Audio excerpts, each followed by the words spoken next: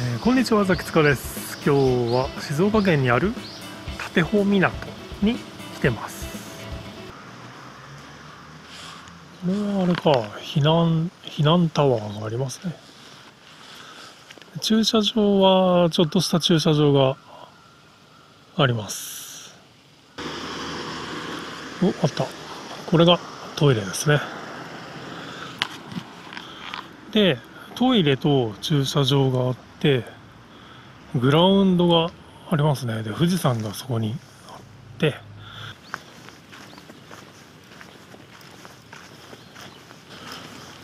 グラウンドの脇を通っていきましょう。なんか文化センターみたいなものがあるね。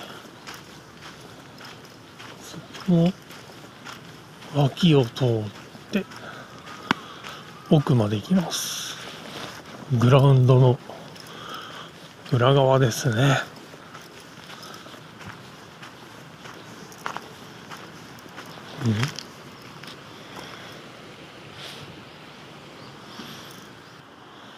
いやー富士山が綺麗だな。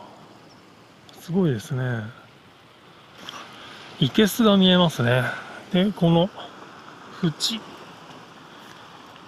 縁グラウンドの裏側の縁がカサゴポイントになってるみたいですよ。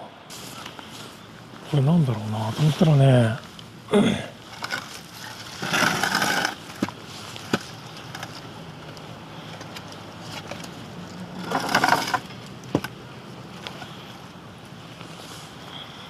危険。これより先の立ち入りを禁じますって書いてある。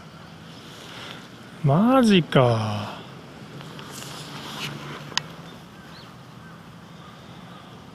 釣りできなくなってた。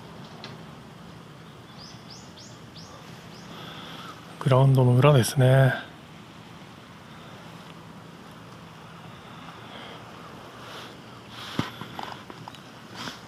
これあれかアスファルトがガサガサになってるからガタガタになってるから立ち入り禁止なのかな。